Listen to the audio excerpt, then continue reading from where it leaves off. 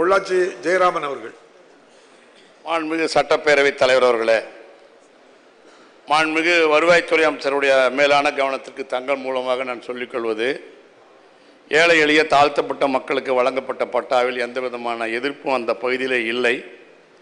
வருவாய்த்துறை அலுவலர்களுக்கு மாண்புமிகு அமைச்சர் அவர்கள் உத்தரவிட்டு காலதாமதத்தை தவிர்த்து உடனடியாக அந்த பகுதியை பயன்பாடு இல்லாத வண்டிப்பாதை முன்பு பய வண்டிப்பாதையாக இருந்தது நூற்றாண்டு காலம் இப்போது பயன்பாடில்லாத அந்த வண்டிப்பாதையை பட்டா கொடுக்கப்பட்ட தாழ்த்தப்பட்ட ஏழை எளிய அருந்ததியர் சமுதாய மக்களுக்கு உடனடியாக நில அளவை செய்து தர ஆணையிடுவார்களா என்று தங்கள் வாயிலாக கேட்டு அமர்கிறேன். மாண்புமிகு வருவாய்த்துறை அமைச்சர் அவர்கள். மாண்புமிகு பேரவைத் தலைவர்களே பட்டா வழங்கி சுமார் ஆறு வருட காலம் ஆகிவிட்டது.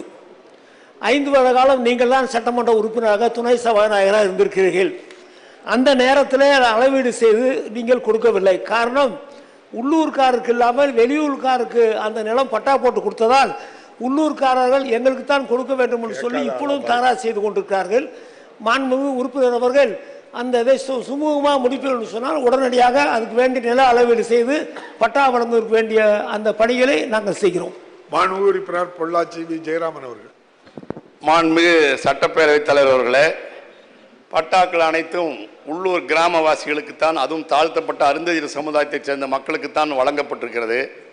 எனவே மனம் வந்து அதில் எந்த கருத்து வேறுபாடும் இல்லை. அவ்வாறு இருந்தால் அதற்கு நான் பொறுப்பேற்றுக் கொள்கிறேன்.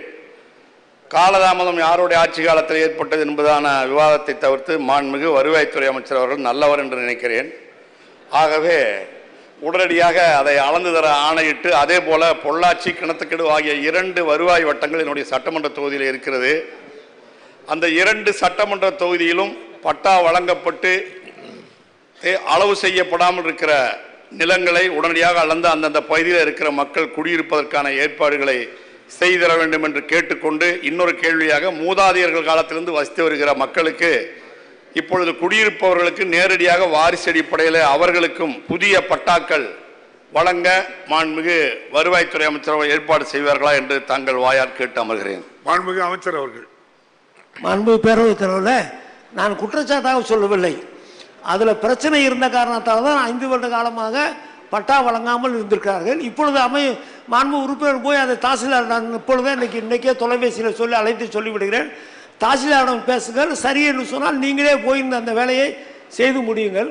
இது இப்போ பட்டா சமாச்சாரம் சொன்னது போல மூதாதையர் காலத்திலிருந்து நிறைய பட்டா மாறுதல் இல்லாமல் இருக்கிறது. அதையெல்லாம் நாங்கள் சரி செய்யக்கூடிய பணியை நாங்கள் வேண்டிய நடவடிக்கை எடுக்கிறோம்.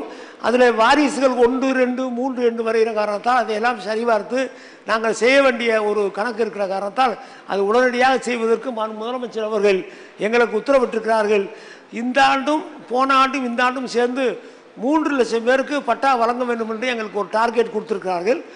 இது வரைக்கும் பார்த்தீங்கன்னா பட்டா வழங்கின பிறகு நம்ம சர்வே பண்ணி நம்ம கொடுக்கறதில்ல. ஃபங்க்ஷனில் பட்டான்னு சொல்லி ஒரு பேப்பரை கையில் கொடுத்துருவோம்.